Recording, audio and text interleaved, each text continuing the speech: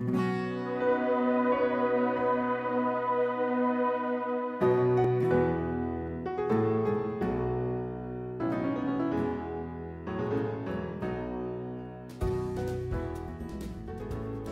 nosso agrupamento tem 10 escolas e os professores bibliotecários dão igual apoio a todas as escolas. Levamos regularmente monitores connosco durante o seu horário sem aulas, portanto, quer seja no horário de monitores, quer seja dias em que não tenham aulas, com a autorização, claro, dos encarregados de educação, e vão connosco fazer atividades, experiências científicas, contar histórias, realizar filmes. Também nos acompanham a atividades fora do nosso agrupamento. O projeto dos tablets trouxe um grande desafio à escola, é um equipamento novo que chegou e que é preciso aprender como é que funciona.